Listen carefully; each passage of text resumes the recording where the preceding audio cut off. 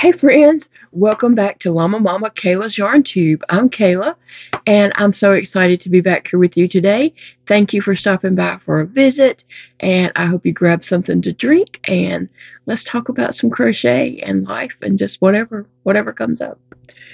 And so today I am drinking some sweet and salty caramel coffee. I believe it's sweet and salty and not salty and sweet.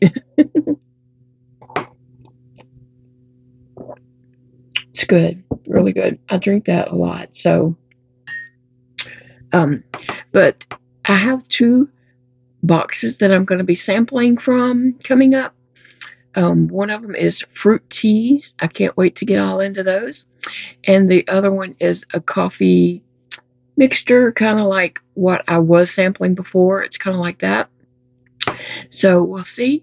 Um, looking forward to those. And I actually forgot to get someone to get them out for me. um, before Christmas, when we cleaned up real good, I had someone to put them in the cabinet under the coffee station. And um, I need somebody to get them out for me now. so I forgot. Yesterday would have been the perfect day. Um, my yesterday, I did not come on with a video um, I got up and piddled around and was doing things, you know. And then my little friend Zeke, who lives on a road over from me, he came down to visit, and we had a lovely visit. Um, we ended up looking on the internet at um, rescue cats and kittens and stuff. We were just looking around.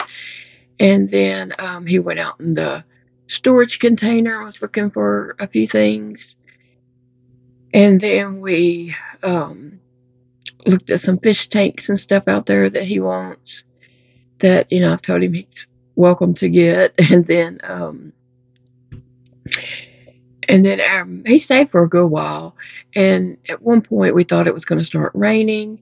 And so it, it passed. But he went on to home before it started raining too hard.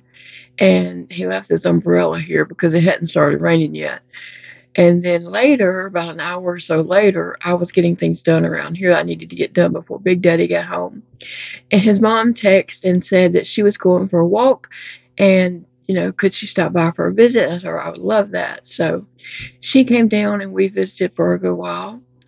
And Big Daddy got home while she was here. And then um, she stayed a little while longer and we visited and just had a good time chatting and, you know, and then um, she left, and then my son Dakota showed up to fix all the baggies for me. So he stayed pretty late, and so I just never got a chance to get a video up yesterday. and so I hate that I didn't get a video up, but I love that I had some company. Um, Zeke is a great company for me. That little boy is so, so smart. Like, he is, he's like a boy genius. I mean, he is so smart. I love talking with him. And then his mom, I love visiting with her too. Um, she homeschools her seven children, and you know, I homeschooled my two boys all the way through. They um, never went to school, we homeschooled. And so, you know, we have that to talk about. And sometimes she just asks, you know, what did you do about this kind of stuff? So, not that I have any answers, but you know, it's good just to talk to other moms sometimes. And then uh, Dakota came out and fixed those bags, and I have lots of bags now. so if you don't know what I'm talking about, I've been working on this wrap um, for the last 23 days. This is my 24th day. Now I have skipped a day or two here and there in there when things were going on. Just like yesterday, I didn't get a chance to make a video, but I'm on day four, 24 of working on my ruana. So here's my baggie for today. My son Dakota had fixed these bags for me. The first 25 have little extra surprises in them. The others will not. They'll just have a surprise color yarn. And so I'm so excited to see what color yarn comes next. This is the colors that I went through so far. Oops. And so now I get to see what is the next color. This um, burnt color that I did, I finished off with the V stitches and then I came back across and just did double crochets across the top there and it almost reached the end until it was running out so that's where I'm at right now so let's see what color I'm going to be adding to the wrap today I'm excited about that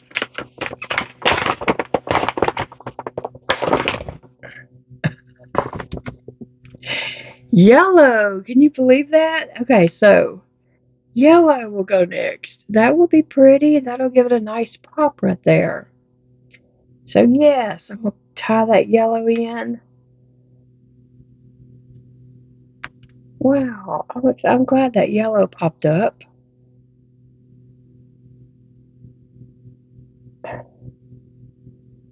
So let me just tie that on.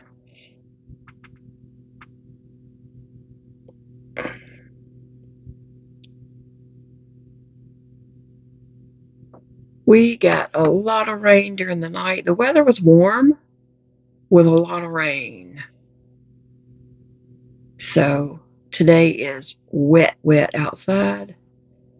And I'm going to tie this another time going this way. I like to secure my knots, so I usually tie it about three times. Um, sometimes I might even tie it a little more. I just like to secure the knots. All right.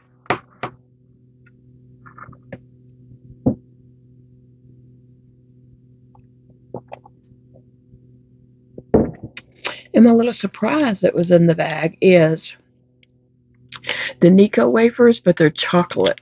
So chocolate Necco wafers. Wow. Cool, cool, cool. All right.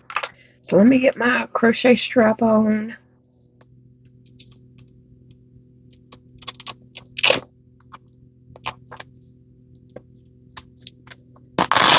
Get my hook. I'm using a 7 millimeter hook for this project. I did start the project with an 8 millimeter um, to chain it and do that first row. And then I've been using a 7 millimeter since then. I just didn't want that bottom part to, you know, be kind of shrunken in. You know how projects kind of do sometimes. So I'm going to finish off this row. Get my hook position. I'm going to finish off this row with double crochets, one in every stitch.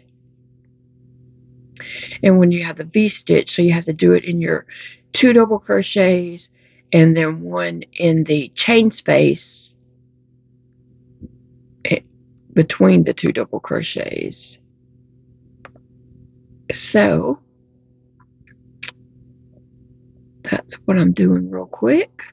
I have some questions that people have asked in yesterday's video, not yesterday, but the day before's video, and I didn't get back last night to read um, anymore, so there may be some questions that I didn't get to yet, but I will. And I'm kind of jotting down the questions.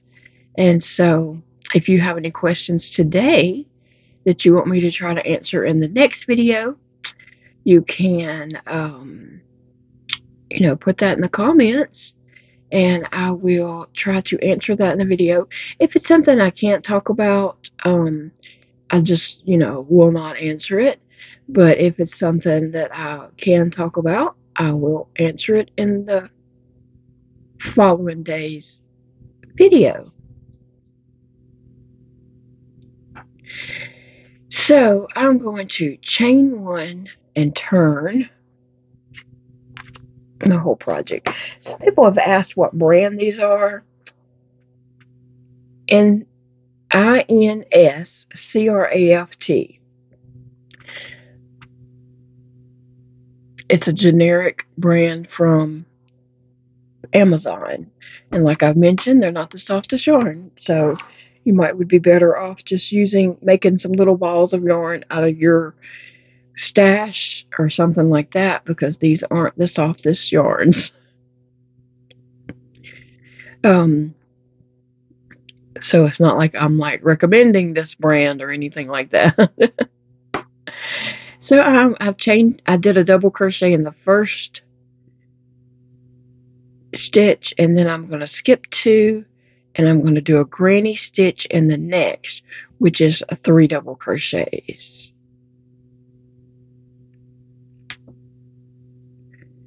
And I'm not going to chain in between the granny stitches. I'm just going to jump, skip two, and go to the third one, and do two double crochet, three double crochets. One, skip two, and then do three. Yep, that's what I'm going to do on this row. So, some of the questions I've got is how did I get interested in crocheting? Well, I was loom knitting. Um, after our home flooded in 2016, I started loom knitting in about um, sometime, you know, after we got our got back at our house. I was a painting. I was painting before then and doing artwork and such, but I lost all my canvases and paints and stuff like that in the flood. And um, hadn't replaced that kind of stuff. And so we were in Walmart one day. I think my son Elijah was getting his hunting license, and Dakota and I were just walking around waiting on him. And so we, um, I, I was looking in the craft area at Walmart, and I saw this loom, and I was like, what is that? I wonder if I could do that. And so I got that and a skein of yarn and made a scarf. So that was my um, first experience making something with yarn. Now, previous to that, I used to sit with my friends, like we would hang out at IHOP or different places like that, and they would crochet. I, I had 10 fingers, and I did not care one thing about working with yarn. it did not interest me. My friend Shalita tried to force me to crochet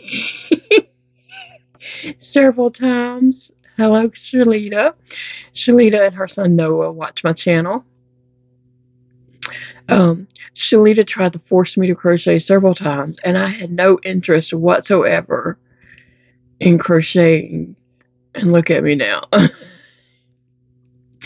and so, back when I had 10 fingers, I would sit with my friends while they crocheted, and I didn't even care about crocheting.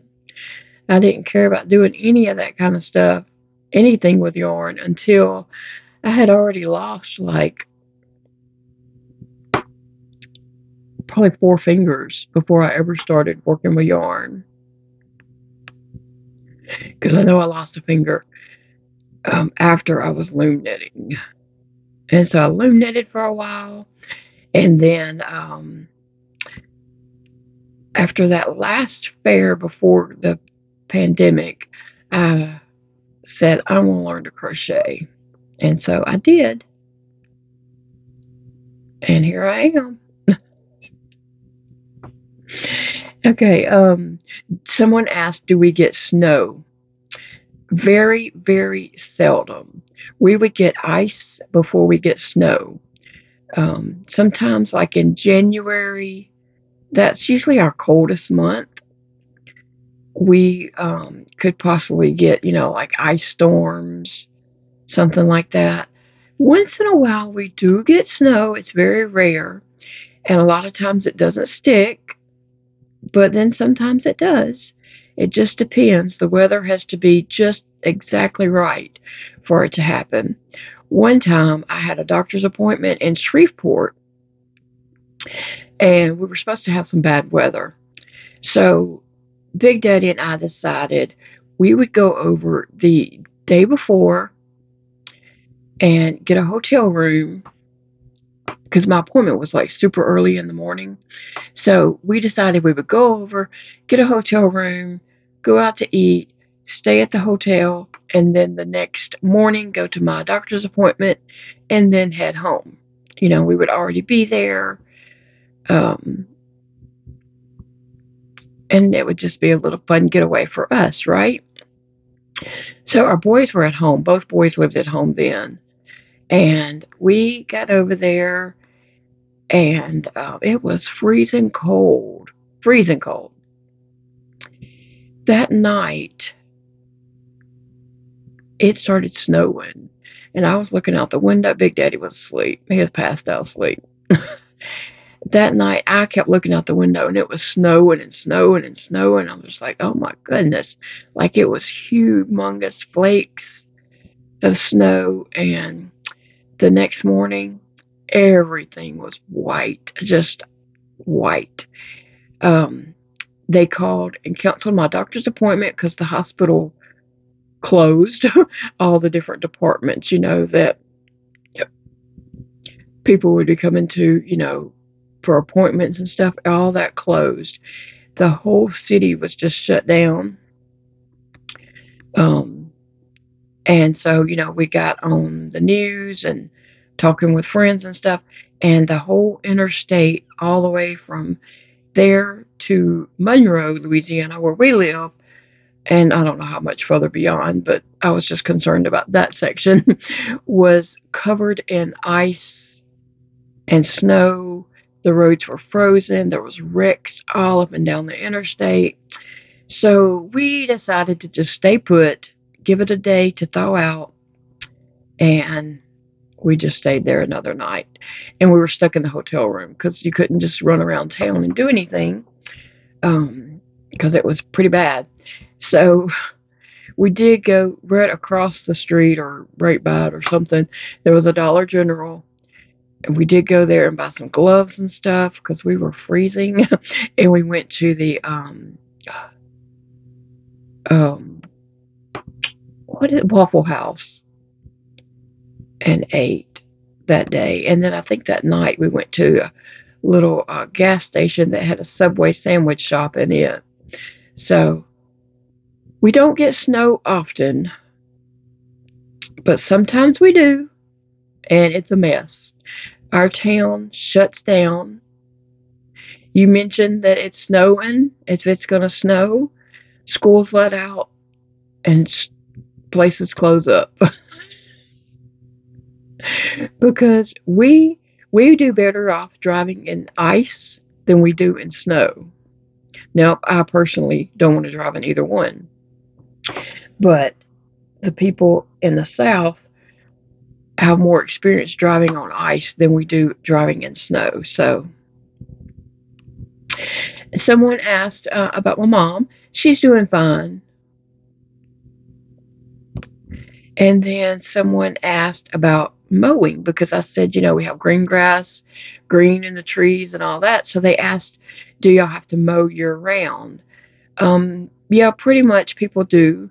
Not in the wintertime, not as often, but they still, you know, will mow their yard periodically, you know, not it doesn't have to be done like weekly in the wintertime, but sometimes yes.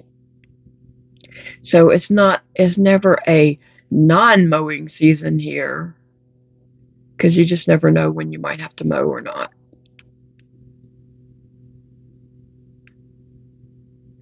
So yeah, I'm doing these granny stitches across here and they're coming out um, pretty good. Let me see. Let me see how that looks. Yeah. So anyway, if you have a question you want me to answer, just put that in the comments below and I'm jotting them down as I come to them. And I didn't get to all of the last video's comments, but I'm going to look at that while this is uploading and I will jot those answers down.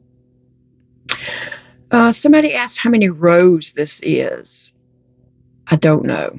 I can tell you there's 24 colors in here now.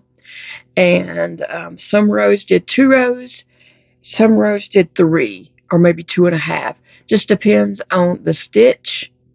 And um, I don't plan on going back and counting rows. This is a non stress project for me and I don't plan to like let it turn into anything stressful. So I'm not keeping up with rows. I'm just crocheting. Okay. I haven't kept up with what stitches I've done. If that's important to you, then you can go back and check out each video and see what stitches I did. Um, I'm not keeping up with that because I don't have any kind of sequence that I'm following. I'm just crocheting. this has been a super non-stressful project for me. Like when I did the chaining row, I did not even count my chains. So, yeah. So I'm not turning it into anything stressful by going back and counting. no, no, no. I'm just going to continue to crochet and enjoy it. And I do have some ideas for more wraps like this.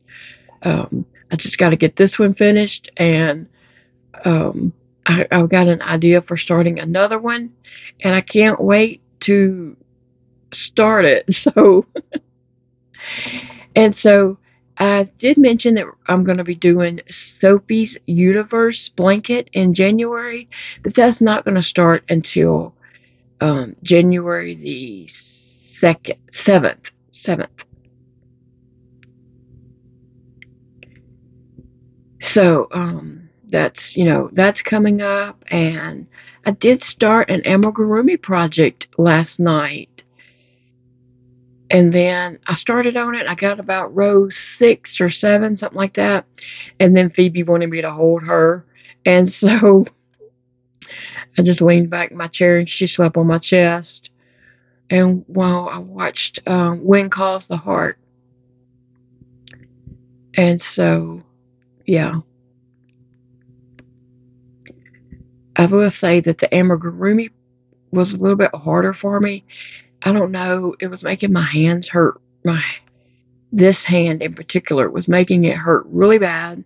So I would do a row and lay it down, stretch my hand out and you know, let it rest a minute and then I would do another row.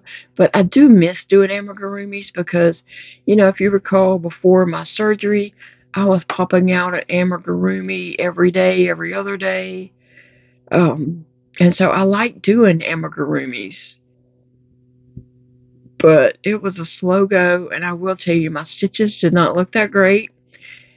Um, I used to think my stitches on my amigurumis were um, were great. it wasn't last night, but I'll show you the project when I get it done. Um, and it may just be that I need practice doing that. You know, um, on this project, I've done all double crochet work. So the amigurumis is single crochet. So that could be, I just need practice doing single crochets. Double crochets is my favorite. Half double crochets is my least favorite. I don't know, I mean, I just don't really care for half double crochets. but anyway, guys, I am going to let you all get going and I will be back for another video and I hope you will join me. And like I said, leave your questions in the comments below. And um, I'll jot them down and try to answer them in the next video. Bye, friends.